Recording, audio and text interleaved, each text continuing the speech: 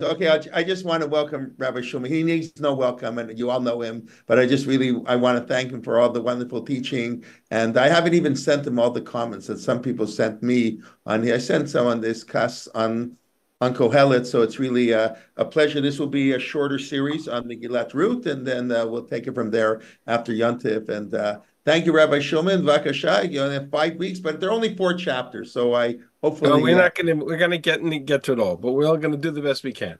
that's okay. Thank you very much, Rabbi Kelman. Thank you very much to all of you, uh, the, all of you who are joining us uh, today for a study of Megillat Ruth. Uh, I just posted the source page on the chat. I'm going to actually just sort of uh, post it again. It's a long source page. Don't uh, don't be over. Don't be uh, intimidated by it. Uh, we'll get to it piece by piece. And if, uh, if I could trouble somebody to just keep an eye on the chat, so if anybody jumps in and asks for the source page, you can just repost that link. That will be helpful to me. Uh, I'm going to jump right in and share my screen. A couple of pieces of housekeeping. Number one, if you can, um, keep your cameras on. It helps me. Even if I'm sharing my screen, I see all of you because I have two monitors, so I can see uh, all of you even through the share. And I will try to leave some time at the end for questions. A lot to cover, so I, uh, if I don't get to all the questions or to the questions at the end of the year, I'm always on the call 15 minutes before the next year. So you are uh, always welcome to join us uh, 10, 15 minutes before the year starts at a quarter to, um, and then uh, kind of have an open mic chance to catch up on questions. All right, so I am going to share my screen. We're going to jump right in. We are a study of Megillat Ruth is our topic for today. They've changed Zoom on me again. So Zoom now looks different, feels different. I don't know. They keep changing it. Does everybody see this screen? Yes. Thumbs up. Excellent. All right. So we're going to start here. Perak Aleph. Vahi b'mei shvot hashoftim. The days of the judges. Uh, we'll get to the midrashic definition of uh, judges judging or judging of the judges, but for now, b'mei shvot hashoftim simply means the days of the judges. Vahi ra'av ba'aretz. There was a famine in the land. Vayelech ish mi Betlechem Yehuda lagur b'stei Moav. A man from Bethlehem of Yehuda went to sojourn in the fields of Moab hu v'ishto ushne vanav, together with his wife and two sons. Ve'yashem ish Elimelech v'shem ishto Naomi v'shem shne vanav machlon v'chilyon Efratim mi Bethlehem. Family now has names. The Pasuk Aleph it didn't have names, but now it has names. Elimelech, his wife Naomi, two sons Machlon and Chilyon, Ephratim, meaning from the tribe of Ephraim, living in Bethlehem or from the tribe of Judah. If living in Ephrat, it's unclear, but for now we'll leave it. Uh, Vayavo Sdei Moav Vayusha. And they went to the fields of Moab, and there they remained. Vayamot Elimelech ish Naomi. Elimelech, Naomi's husband, dies. A very odd way to identify Elimelech, by the way. Um, clearly, the the heroine of the story or the central personality of the story is going to be Naomi, and so Elimelech, who dies here, is identified as Naomi's husband. Vatishaer he ushne vanea, and now she is left widowed with her two sons. Vaisu lehem nashim moaviot. Two sons married Moabite women, b'shem achat Orpa, b'shem hashanit Ruth, by the name of Orpa and Ruth. Vayeshvu sham ke'eser shanim, and there they dwelt for ten years. Vayamutu gam shnehem machlon v'chilyon. They also died, machlon v'chilyon. And so by the time the story is over, Vatishaer, just going to momentarily put background noise on mute. וימותו גם שניהם, ותישאר האישה משני ילדיה ומאישה. And so she remained bereft both of her two children and her husband. Until finally, ותקום היא וחלותיה ותשוב משדה מואב.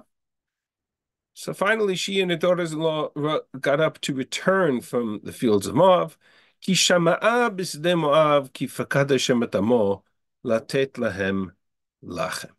Because she heard in the Moab that she heard that God had remembered his people and provided them food, bread, that essentially the famine was over. It's kind of a little bit of a play on words. Latet lahem lechem, so therefore they returned to Beit Lechem Right? Beit Lechem the city, Lechem being the central motif of, of the famine. But in all cases, Vatetzimina Makom, she left there, and the rest of the story from Pasuk Zayin and on, we will, Bezrat Hashem, get to at another stage. For today, my focus is on these opening six psukim. There's a lot that's not said. There isn't a lot of background. Who's Elimelech? What time period are we living in? What is uh, the context here? Why, and most importantly for our purposes, why does God chase after them? Why is it that Elimelech dies and then Machlon and Chilion die? Why is all of this tragedy taking place in the context of the very opening verses? We don't know anything about them. We don't know what they've done. That we don't know what their background is, and yet suddenly uh, head of the household dies, the two children die, uh, the there is a uh, substant there is a um, she's left bereft, and uh, the tragedy here is the central motif of this whole introduction. Vatishaer he uh, Vatishaer he uh, where's the pasuk? Um, Vatishaer ha'isha mishne yeladeh ume isha. She is left bereft of both her children and her husband. Really extraordinary. And she has no other children, as we'll see later on. Uh, really an extraordinary uh, moment. Um, and the assumption is in the world of Tanakh, in, in, in, contemporary life, you could argue that such a tragedy is, is somewhat, could be theoretically random in the sense that we don't necessarily know why this tragedy occurs. In the world of Tanakh, it doesn't operate that way. In the world of Tanakh, if there's a tragedy of this proportion, there needs to be some context in which we understand why this takes place. And that's really the question we're going to try to explore today from the is there a hint in the text itself or in the context of the of Sefer Megillat Ruth as to why this is occurring, but it's certainly perceived as something which is God's hand against Elimelech and against the family, maybe even against Naomi, unclear, but certainly Naomi herself sees this as the hand of God against her, and we see that by the end of the parak. When she finally returns to Bethlehem, and she comes to Bethlehem, and all of the people of Bethlehem come out to greet her. She together with Ruth, she comes to Bethlehem, and the entire city is overwhelmed. They're in an uproar, and they proclaim, Naomi, this is Naomi. What, what happened? Al Naomi. She says, Don't call me Naomi. Krenali Mara. Call me bitter. Naomi, for the word Naim, pleasant. Now she's changing her name to Mara ki Himar Shadaili Mi'od, because God has treated me bitterly. I left full, came back empty, whether that's a function of financial reflection or more likely family. She went to the husband and two sons. She came back both a widow and a Em Shikula. She lost both her sons and her husband. Lama tekrenali Naomi v'Hashem anavi. Vashadai Herali. Why call me Naomi? God has afflicted me. God has done evil to me. And so she has, there is this moment of bitterness that's reflected in this context of the fate that has, in a sense, pursued and plagued this household. And so the question that we need to ask ourselves, and that's the question that all the Mepharshim struggle with, the Midrashim struggle with, essentially, to put it simply, what was Elimelech's chet or Machlon What was the family's crime to which this was their punishment? The assumption that there is, in fact, such a crime. That's question number one, the big question. There are a number of additional smaller questions, both linguistic and, and technical. Um, including the Ra'av, what role this Ra'av is playing in the story, and uh, the fact that he, they went to Moab. Why is that significant? Uh, we'll get to the whole story of Ruth and the conversion of Ruth and the relationship with Ruth. That will all be part of our study of the next couple of weeks. And then, of course, the bigger question, which is uh, why is this the Megillah that we read on Shavuot? Uh, for that, we're not going to address today at all, uh, but we will get to Bezrat Hashem down the line. So we have our work cut out for ourselves. Okay, we ready for the journey? Hands, hands up, we're ready for the journey? Good? All right, let's do it. So for here, we're going to jump to the source page for a moment. And um, you can ignore the beginning, a little bit of a chiastic structure to the opening verses, not our issue for now. Uh, Chazal certainly saw Machlon, Chilion, Elimelech all as individuals for whom this chait was something, or this punishment was something which was appropriate or you know, the, uh, as they say, uh, that they deserved. Uh, Chazal do so by playing on the words of their names. The names Machlon, Mechilion, Chazal, and a number of midrashic sources play out the notion that Machlon and Chilion come from the words Klaya, Chulin, uh, Nimchu min olam, phrases that mean that they were either uh, profane or that they were worthy of destruction, Klaya, Kilion, that they were wiped out of the world, Nimchu min olam, Machlon, all reflected reflecting the idea that they're not just they didn't just die, but in fact this was a punishment from the hand of God, and that's really the beginning of the of the sefer. What is going on?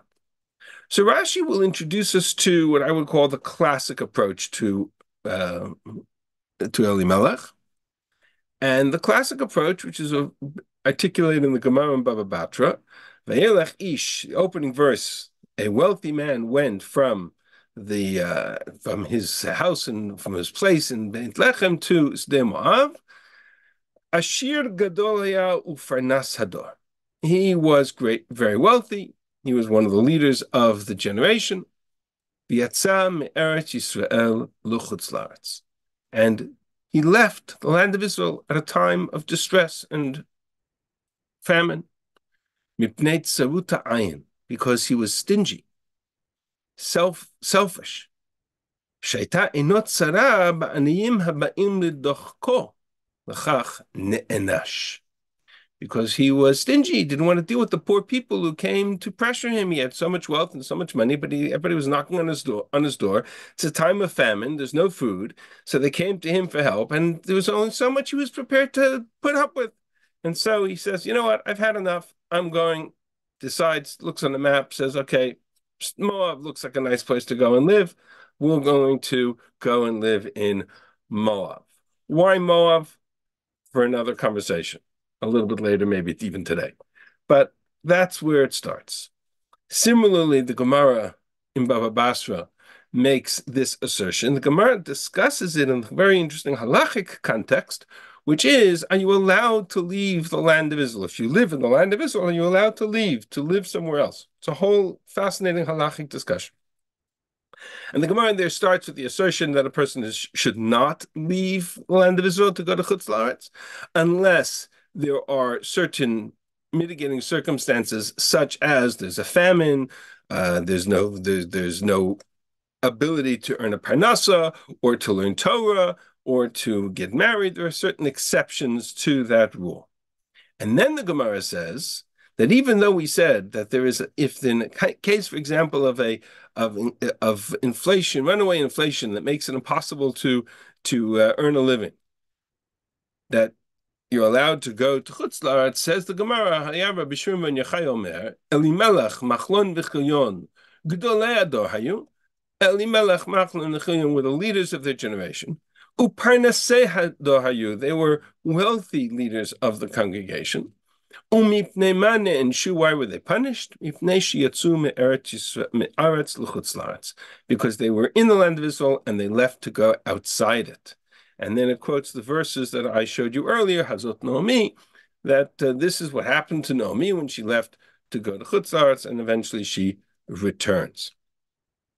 Why should just picking himself up and leaving and going to Chutz be such a terrible thing to do that would literally make it so that uh, God runs after them kaviyachol and and destroys the entire family in karet style. My husband dies and the two children die.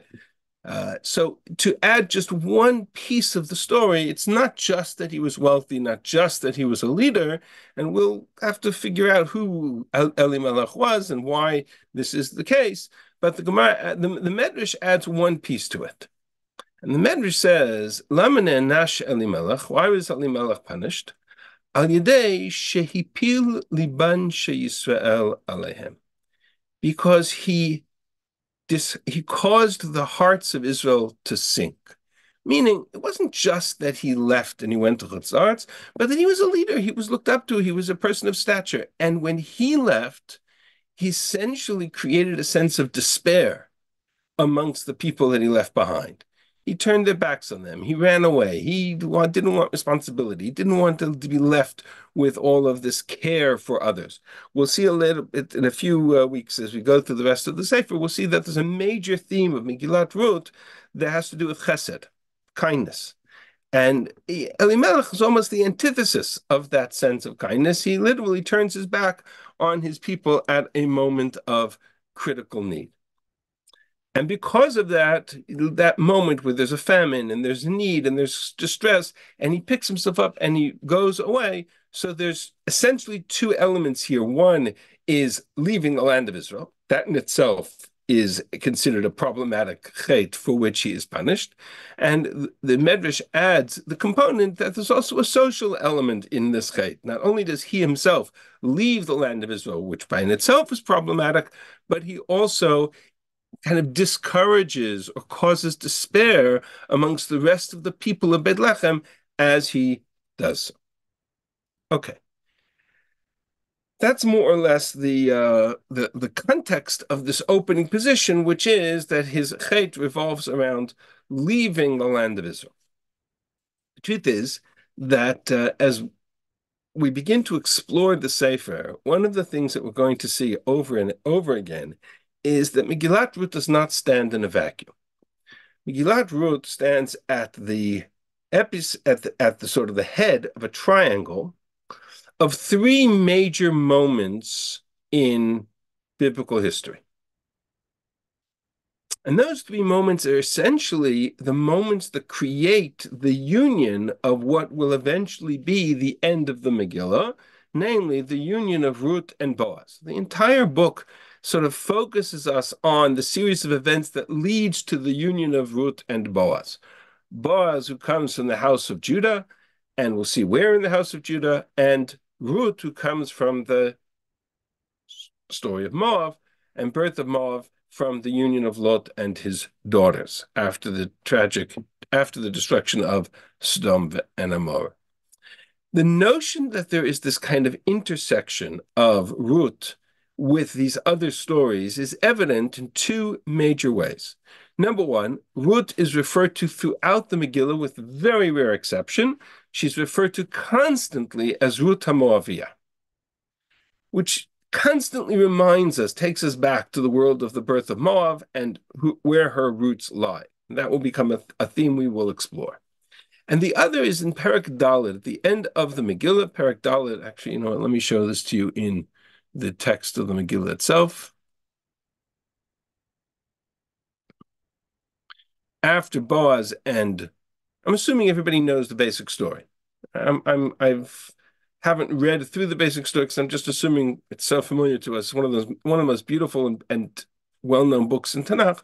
And my goal here is to kind of unpack it, but I'm assuming everybody knows the basic story. But if we look at this when Ruth and Boaz marry at the end of the book, the people of Bethlehem come to them and give them a bracha. They give them a blessing. What's the blessing? Edim, all the people of the gate and the elders said, Edim, you are we are witnesses that what?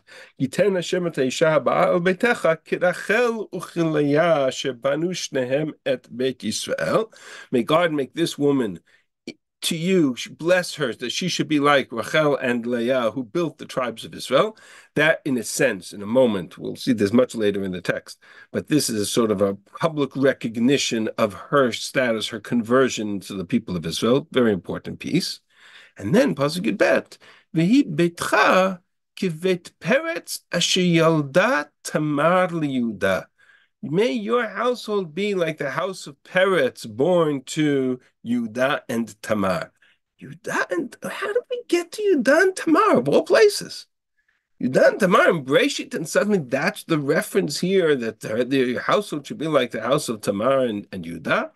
And the truth is that that notion is the story itself. This book ends with Eile Toldot Peretz. The book is the story of the descendants of Peretz.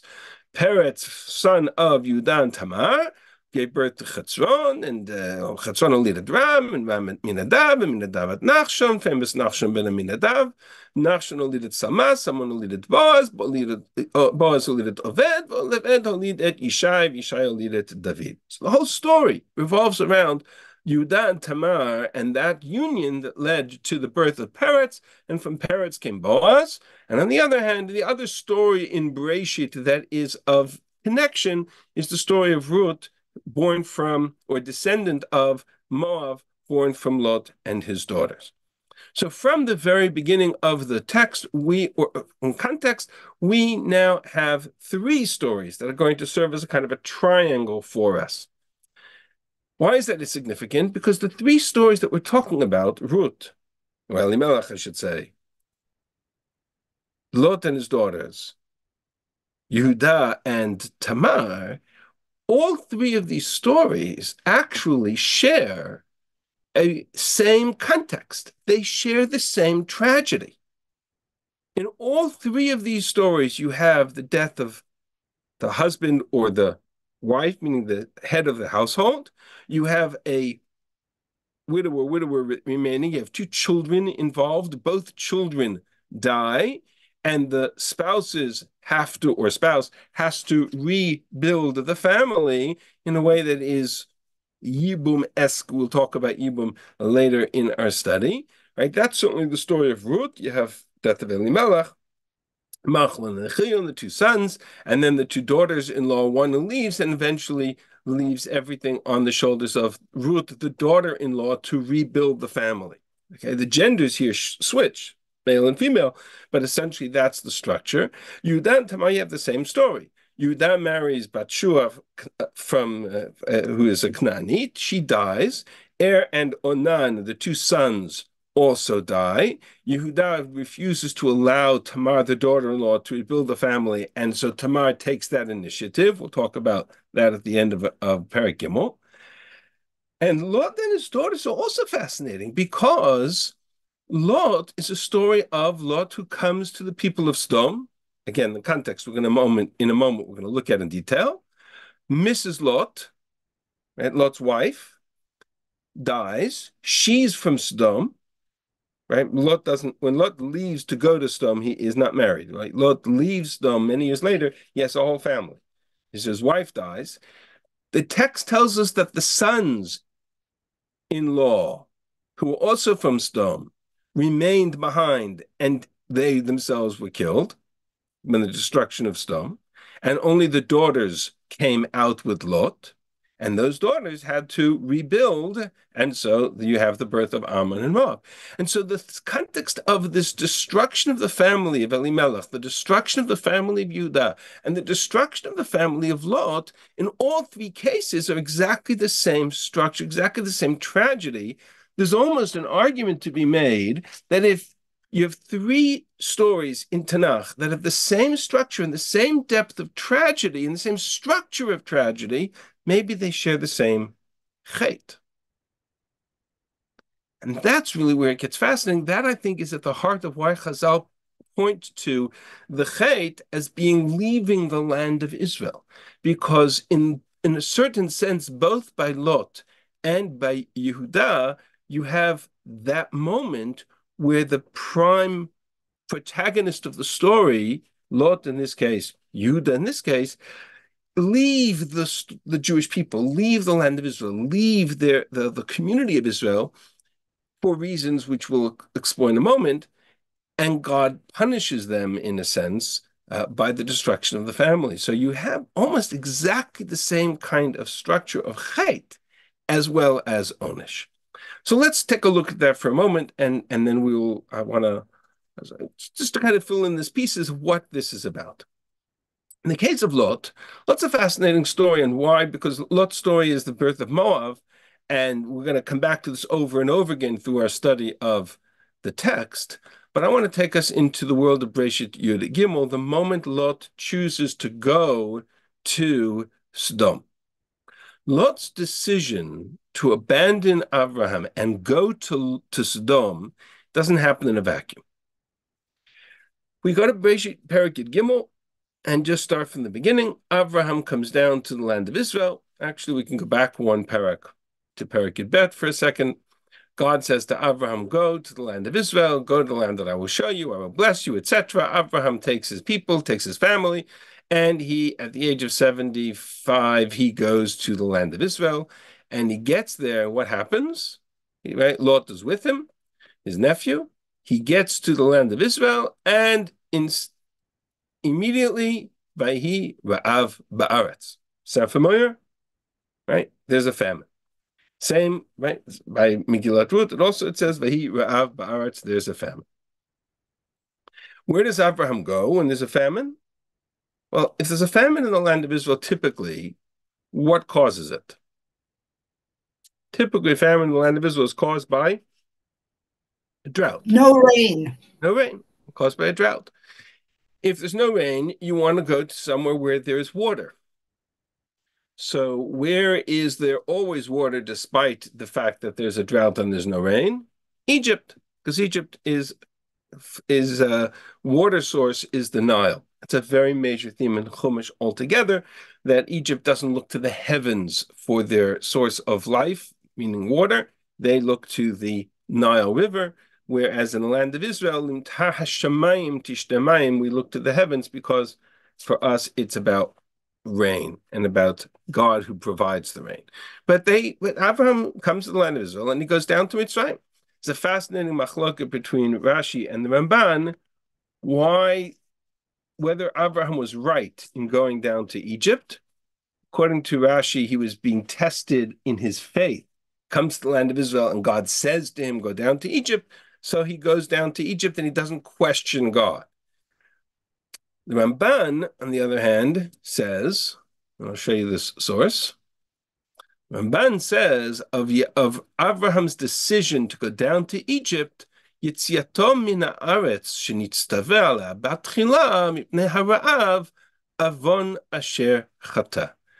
Abraham's decision to go down to Egypt to abandon the land of Israel at a time of famine, note parallel to Elimelech, Abraham's decision to go down to Egypt at a time of famine, says the Ramban, was considered a great sin, a great mistake, because God sent him to the land of Israel, and God expected him to remain there. God will save him even from famine if that is what God wants him, where God wants him to be. In a certain sense, there's a proof from the text that the Ramban is right, that Abraham sojourn in Israel was supposed to remain in Israel, and instead he went down to Egypt, because he goes down to Egypt how long does he stay in Egypt? How long is he there?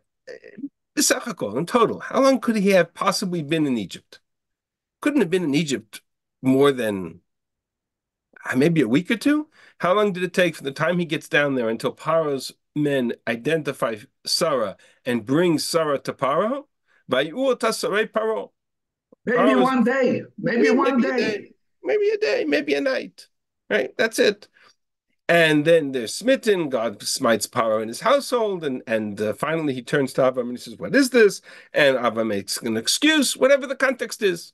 And Paro immediately takes Avraham and his family, and he sends him away. He says, "You can't stay here." So he comes down to Egypt. He's there for maybe at most a week. And then he's expelled. Where does he go? There's still a famine in the land. There's still a famine in the land of Israel. Famine doesn't, a, a drought doesn't end in a week. Even if there's rain, even if for some miracle there had been an enormous amount of rain, it has takes a season or two to rebuild the crops. You can't just assume now suddenly there's bread or there's food.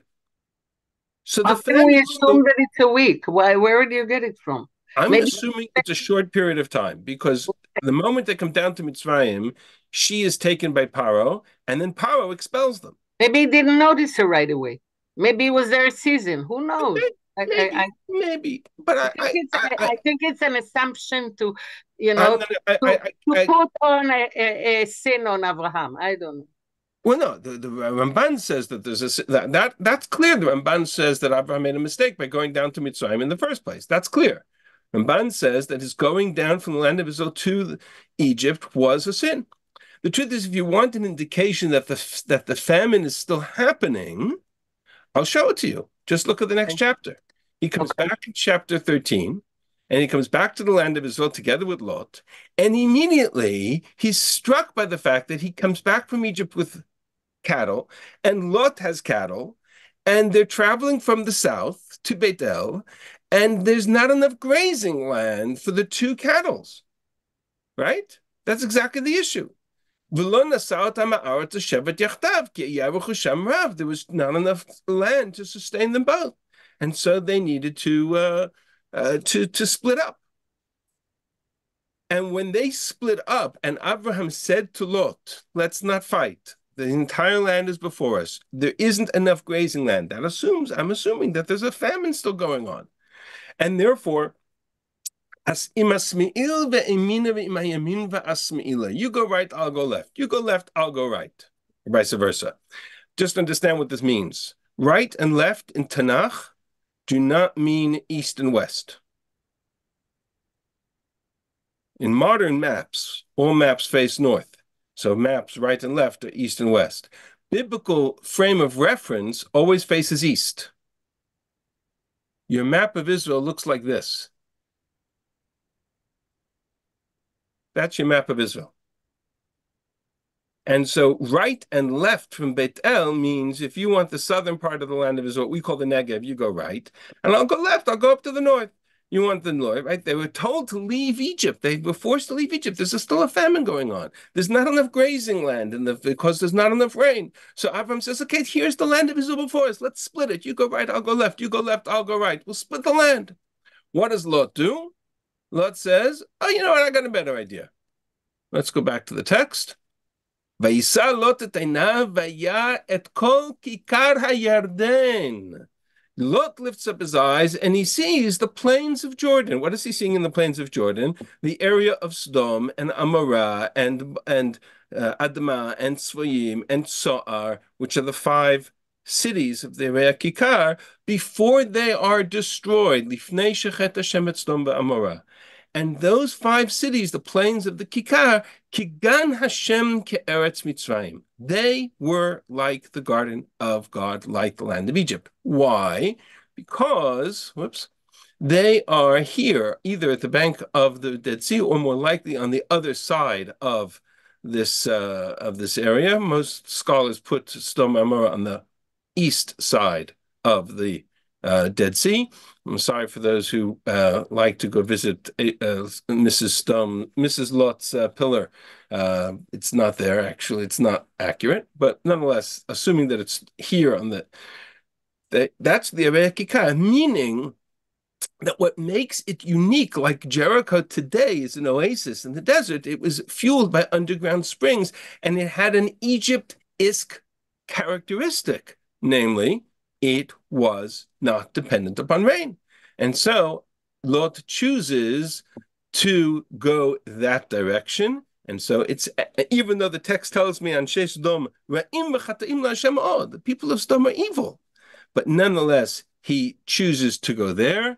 And so Lot at then he chose that area. Lot mikedem, and he traveled eastward. Meaning, Abraham said, Right or left, north or south, which part of the country do you want? And he said, I want east. I want out. I want to go to where there's a not where there's a, a, spring. If I can't go to Egypt, I'll at least go to Sdom v'Amorah, despite the fact that the people of Sdom v'Amorah are evil. And there he settles, and there he marries, and there he has a family, and there he has daughters, and there uh, there he has sons-in-law, and there he has his wife. And so suddenly, later on, when Sodom is destroyed, all of those people are offered to be saved, and Lot has to run for his life. So the chait of Lot, in this regard, says the Gemara, and I'm going to jump back to the source page. When Lot chose to go eastward, says the text, Hisia atzmo mikadmuno shalolam. He was really going beyond the fact that he was going eastward. He was moving away from playing on the word kedem and kadmon moving away from the God of Abraham. He was choosing to leave the land of Israel and leave the people of Israel, namely to leave Abraham behind. And that's the key piece in the story.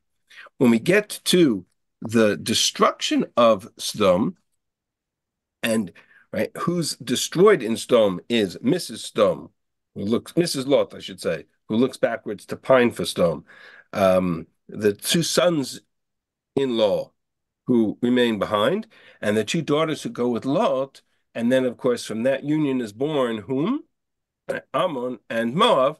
Geographically, Ammon and Moab are precisely here on the other side of Yamamelech in the areas of what I would believe to be the areas of the original locations of Sodom and Amorah, because they are replaced essentially by Ammon and Moab, are really the descendants, if not physically even physically, um, genealogically, but also in culture.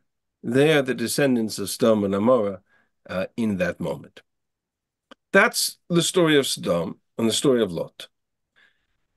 Jumping to the other part of this triangle, we have the story of Yehuda.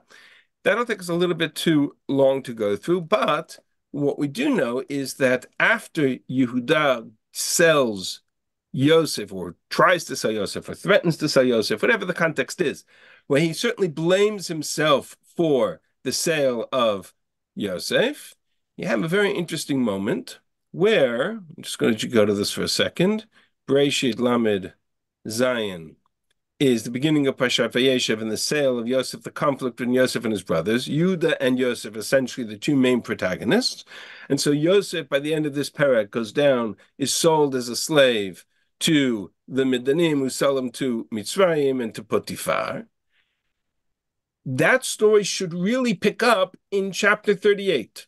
Sorry, in 39. We really should pick this up. Next verse should be Yosef who ad Mitzrayim. Yosef goes down to Mitzrayim.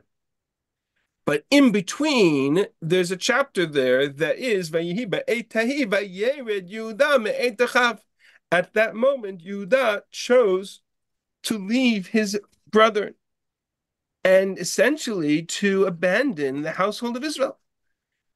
I suspect it's more than abandonment. I think it's more a matter of seeing himself, seeing his father's affliction, seeing what he has done, to selling Yosef as a slave, essentially to selling Yosef away from the family into the land of Israel, out of the land of Israel, out of the family of, of Yaakov, he realizes the depth of that crime and he sort of proclaims upon himself a self proclaimed exile. And he leaves the land of Israel. And so we have these two stories Yehuda and Tamar. On the one hand, God running after Yehuda, his wife dies, his sons die. And then, of course, you have the story of Tamar to rehabilitate the family. We'll talk about that another time. And you have that, that as a prelude to uh, the back the story of Yehuda and um, of Yosef going down to Egypt. So, without getting into too much of the detail, because I'm I'm rushing through this part because I really want to get to make sure we get to part two, but more or less what I have in um, right, the two sons of Yehuda who die, um, even though it says that they died because they were evil in the eyes of God, uh, we there's evidence later on that both Yehuda and the brothers saw the death of Yehuda's two sons as a punishment for Mechirat Yosef, because it says that um, later when Reuven makes the argument that if he doesn't bring back Binyamin, may my two sons die if I don't bring you back Binyamin. And Rashi makes the observation that Reuven and that Yaakov didn't understand what what, what Reuven was saying. Yaakov says, "Bechor shota." My my firstborn is an idiot. What, what, what do you mean? If if if you don't bring back my grandson, I'm going to kill your two sons. That that makes zero sense. That your sons are not my sons. What what how what kind of, of logic is that? What he doesn't know, or what Yaakov doesn't understand, is that what Reuven was saying to him was, if I don't bring you back Binyamin, then let happen to me what happened to Yehuda's two sons for the sale of Yosef. Because everybody understood that Yehuda's going down, Rashi uses the expression everybody understood that going down was really a reflection of a kind of a self uh, proclaimed exile for this moment. So let's come back to Elimelech. Assuming we've said up until now that the Chet of Elimelech was leaving land of Israel and going to Sodom, sorry, going to Moab, leaving leaving land of Israel and going to uh, Moab, abandoning the land of Israel, abandoning the people of Israel, um, then you have a sort of a structure that these three triangles of, on the one hand, Lot, leaving Abraham and leaving the land of Israel, going to Stone. Yehuda leaving the household, leaving Yaakov's house, going to essentially Eretz Plishtim at that time, but leaving the family of Yaakov, are perceived all in the same triangle and therefore the same chait and a little bit also the same punishment. Um, it's fascinating to note, and with this we're going to finish this section of the shir. Uh, it's fascinating to note that Elimelech's decision to go to Moab is actually more directly linked to the story of Lot than we would have otherwise thought, because in the Nevi'im, Moab and Ammon, who are not just descendants of Lot, children of Lot, but they are actually the fathers, if you will, of, they are the descendants, if you will, of Sodom and Amorah. Tzvanya makes the reference ki Moab kistom tiyeu v'nei Amon comparing Ammon and Moab to Sodom and Amorah. Yeshayahu makes the reference that Moab is like Tzoar, which is one of the five uh, kikar. Yechezkel, who describes the sin of Sodom. The sin of Sodom. What was the sin of Sodom? Okay, we know all the midrashim about the sin of Sodom, but it all comes from this pasuk in Yechezkel, who says that the sin of Sodom was v'yad ani ve'evyon lo hichzika, that they refused to provide any kind of sustenance or support to those of the poor and the needy. And what does the Torah say about Moab and Ammon? That they are. Why is it that the Torah says that Ammon and Moab cannot get, enter into the congregation of God for eternity? That they are, in a sense, outside of the pale of, of potential engagement with the Jewish people, because, says the Torah, because they weren't hospitable to you, because they acted Sodom-like. And because they are descendants of Sodom, they perpetuate the, the mind, the culture of Sodom. That was considered a grave sin. So to put this all together, let's kind of bring it to, together where we're at according to all that we have stated up until now, this is articulated by the Rambam in the most uh, um, some kind of brief brief uh, summation. He says, "Asur Yisrael It is forbidden to leave the land of Israel to go to a foreign country unless it is to study Torah, to get married, or to uh, to be saved from the hands of an idolater, or to provide sustenance, livelihood if you can't make a living in Israel." And that, says the Rambam, is provided you return. The afapi shemutar latzeit, and even if it is permissible to leave, says the Rambam, inamidat chasidut, it's not praiseworthy. Even in context in which it's permissible, it's not praiseworthy. Why?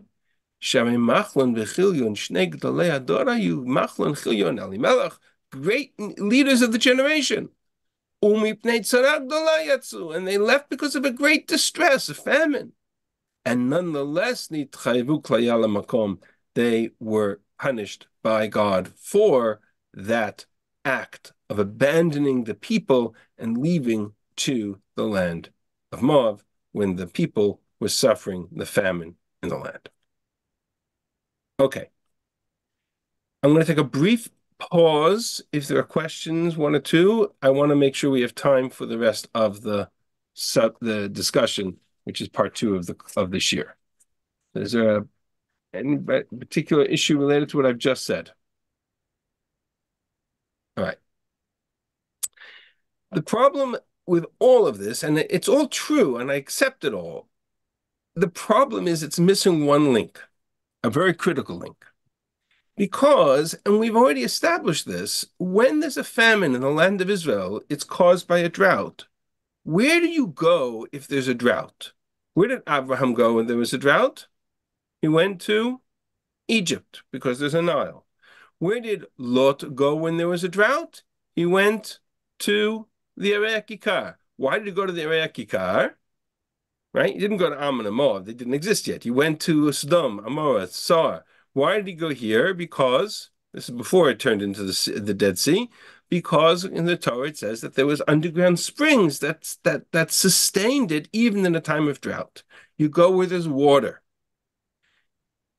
Hence the problem. Elimelech is in Beit Lechem, and there's a Ra'av Ba'aretz. There's a famine. If Elimelech went eastward to Egypt, or southward to Egypt, I'd understand. But Elimelech goes to Moab. Why would you go to Moab if there's a famine? If there's a drought here in the land of Israel, likelihood is not a lot of rain in the land of Moab either. Right? You're not going to somewhere where there's rain unless you want to go down to Egypt where there's a Nile. So one of the big mysteries in Megillat Ruth is he goes to Bethlehem, of, uh, he goes to Moab of all places. And then 10 years later, she comes back because she hears, no, Naomi comes back because she hears, Suddenly, 10 years later, there's bread. A 10 years, it's a 10 year drought. So, and, and what is there in Moab if it's a 10 year drought in the land of Israel? Eh, there's a, there's a piece of the story missing. And so to really put this back together, we need to understand not just the geography of the land and the weather reports, but there's a piece of the story we're not getting. What's that piece of the story? So Chazal articulated in a very interesting way. Ask the question, when did this story take place? Can we pinpoint the time frame of Megillat Ruth? And the answer is, what are you going to do? It says, all it says is, in the days of the judges. That doesn't give me a lot of information to go on. How long is the time period of the time of the judges? The whole period of Sefer Shoftim. It's about 400, years. 400 years. years. 400, 400 years. About 400 years. So 400 years, Shoftim doesn't tell me a lot. Number one. Number two, Vayira Av Ba'aretz. There's a famine in the land, ostensibly caused by lack of water, by a drought. In all of Megillat, in all of Sefer Shoftim, and I've taught Sefer Shoftim several times, in all of Sefer Shoftim, there is no reference to a drought. There's distress, all kinds of distress, but there's no reference to a drought. We'll have to see what that means. Number two. Number three, who is the leader of the people in Beit Lechem? Who sits by the gate of the city, who gathers the elders to the city, who is the head of the Sanhedrin clearly enough to be able to articulate new halachas about about Moab uh, acceptance of Moab, right? Women into conversion, right? Who is the leader of the people at that time? Boaz. Boaz. Boaz is not mentioned anywhere in Sefer Shoftim. So Chazal do something fascinating. They give us two reference points to see if we can pinpoint when this story took place. What are they? I'll show you what they are. Two reference points. And again, in classic Midrashic language, everything's coded. So we have to decode it. The first reference point, point is that when it hmm. says Shvot HaShoftim, it doesn't just it doesn't just mean the time when the judges sat and ruled, right? Shvot HaShoftim, but it means Bimei Shvot HaShoftim, when the judges were judged. Okay? How does that come to be? Says the Gemara, Dor sheshofet et shoftav, a generation that judged its own judges. If a judge would say to somebody, told Kesami ben Inecha, take the splinter from between your eyes, they would respond and say, sorry, that should be me ben Shinecha, there's a typo. Take the, not a typo, it's a, a Girsa issue, but take the, the splinter, the, the toothpick out from between your teeth, me ben Shinecha should say, Omer lo, the response would be, told Kurami ben Inecha, remove the beam from between your eyes. Who are you to judge us? Who are you to tell us what to do? Okay? We know any period of time in which the judges were treated as if, who were you to tell me what to do? Yeah, a lot of a lot of times like that.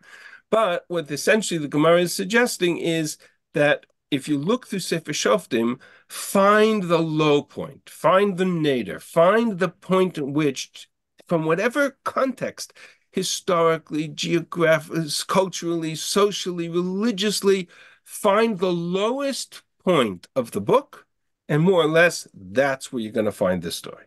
It's not like Pilegesh Bagivah. Oh, so Pilegesh Bagivah, maybe there's a lot of, there's a uh, book by Yael Ziegler on on on um, Megillat Ruth. She does a lot of comparison to the story of Pilegesh Bagivah.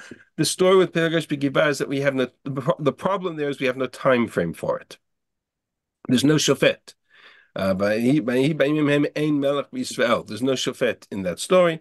And so it's a hard story to put into this context. Uh, I'm going to go somewhere else for the, in this in a moment. The other reference is Boaz, Boaz in Bethlehem. If Boaz has a shofet-like rule, he is leader, he is etc., gathers the elders. Is there any other shofet in Bethlehem? And the answer is yes. There's a shofet by the name of Ivtzan. And so the Gemara says, Ivtzan is Boaz.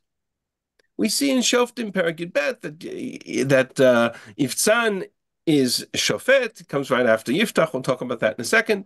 Yiftan of Bethlehem, he ruled for seven years, and he's buried in Bethlehem. So if I have two frames of reference, a low point in Sefer Shoftim for the story that took place, and some identification of the connection between Boaz and the only Shofet of Bethlehem at the time, namely Ivtzan, Okay, so Chazal, that's enough to pinpoint these two points of reference. Okay? So what does that tell me? Here's, let me close this. I don't need that anymore. Okay, here's a list of all of the Shoftim, the, the book of Shoftim in the land of Israel. You can see they're spread out throughout the land. One of the characteristics of the book of Shoftim is that more or less each Shofet came from a different geographic area you almost have no two shoftim in the entire book listed from the same location. The whole idea of the book of Shoftim is that it's decentralized leadership. Unlike a melech, where you have one central national leader, that's the foundational difference between the shofet and the melech. Here you have decentralized. Every shofet came from a different region. Right? The Gemara actually makes this reference and says that every every tribe provided a shofet. And so there's only one in Bethlehem, and that's Ivtzan. Make the map bigger. Can you make it bigger so we can read? Um, I can try. Does that work? Yes, thank you. Okay, Ivtzan of Bethlehem. Now that doesn't. How does that help me? So it helps me from two perspectives, and in the time we have, we're going to see if we can unpack this. We may not finish it. We may have to do this part of this next week. So I apologize if we kind of have to bridge that, but this is a very important piece. I'm going to walk you through some of the charts that I had created when I once uh, when I taught Sefer Shoftim. I'm going to skip this text for a second. Here's a simple chart that is a summary of the entire book of Shoftim. This chart makes it basically gives you a picture of the entire period of the 400 years of the book of Shoftim. There are 13 different shoftim mentioned in the book. I've divided them into two groups because you can see from the number of years that they led, reigned, led, judged, right, however you want to define it, that in the first five, they reigned for or led for 40 years or 80 years or 40 years or 40 years. There's a certain round number of a generation context, right? Abim Shanat Kut Bedor. Um, Otniel ben Knaz, El ben Geber, Shemgar ben Anat, we don't know a lot about, Devorah and Barak, Gidon uh, ben Yoash or, or Yerubal, each one of them more or less for 40 years. The latter part of the Shoftim, more or less, we know very little about them. Their stories get very brief and they reign for odd number of years. Avimelech is Bechlal, a whole different story. Uh, he's not even really a shofet. He reigns for three years. He tries to assert himself as a king. He tries to kill everybody in Shechem. Very complex story. Tola ben Pua doesn't say anything about him except that he reigned for 23 years. Yaira Giladi, 22 years. Yiftach, six years. Ivtzan, seven years. Elonas Vlani, 10 years. Avdon ben Hillel, 8 years. If you've never heard of these people, it's because there's nothing there. There's a couple of verses about a story. And then, of course, Shimshon, who is um, in Eretz Plishtim. If I put the story of Yiftach, sorry, let me do that again. If I put the story of Boaz, when Naomi comes back from Moab to the land of Israel, to Bethlehem, and there she finds Boaz, and Chazal link Boaz to Ivtzan. Well, Ivtzan was a shofet for seven years.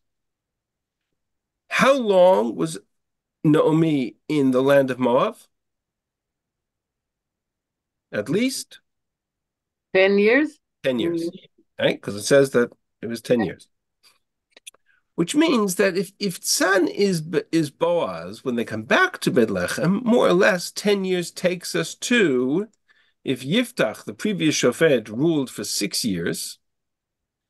It puts us in the time frame pre Yiftach, not yet the irregularity in between, because in the 18 years prior to Yiftach's reign, they were under the oppression of the the uh, forces of Ammon would come in and wage war with them.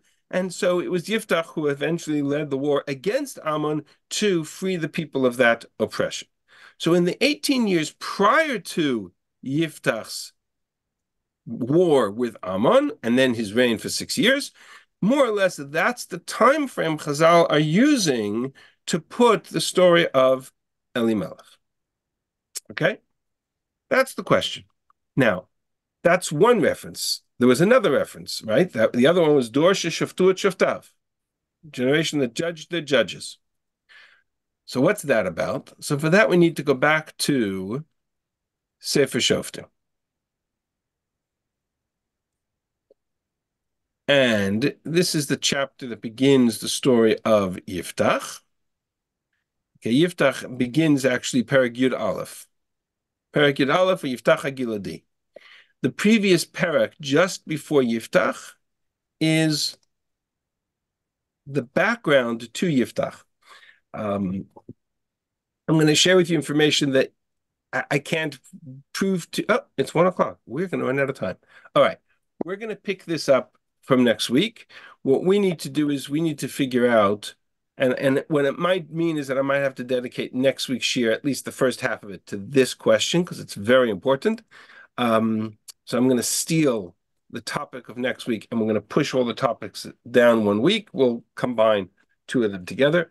Um, I, I really, it's very important to understand how Yiftach and the war with Ammon plays a role in the background to, I'm going to stop sharing actually. It's very important to see how Yiftach and this war with Ammon plays a role in the story of Ruth and Elimelech.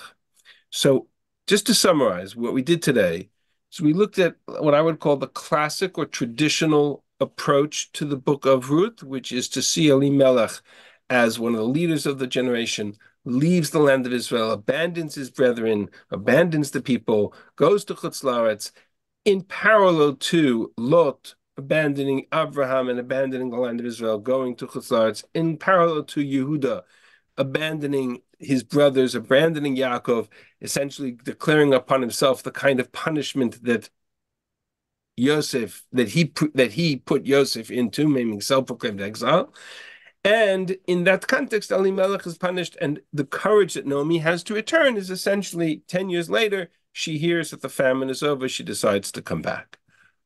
What we started to explore, which we haven't finished, is that works, except for the fact that they go to Moab and not Egypt.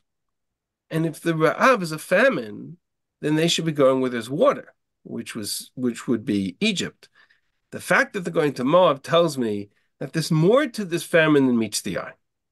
So for that, we need to look at the historical context. And we began to explore Dorsha Shaftuat Shaftab, the low point of Sefer Shoftim, and the connection between Boaz and Bethlehem.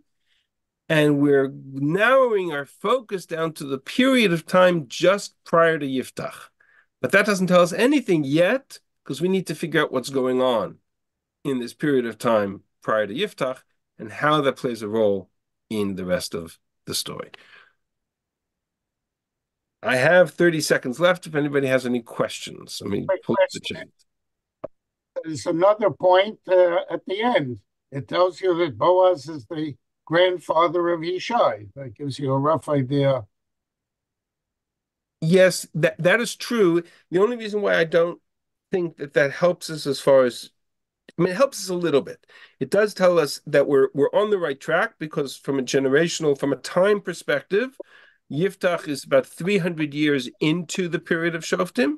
And so there's about 50 again the the numbers are off a little bit because it's hard to pinpoint it but we're uh, 100 years before the end of of the book of Shoftim um, the period of Shaul and Shmuel is very is very complicated as far as uh, chronology goes, but we're not far. It works in terms of the gene the genealogy. Genealogy lists in Tanakh aren't always the ideal solution or ideal um, tool because they sometimes skip generations.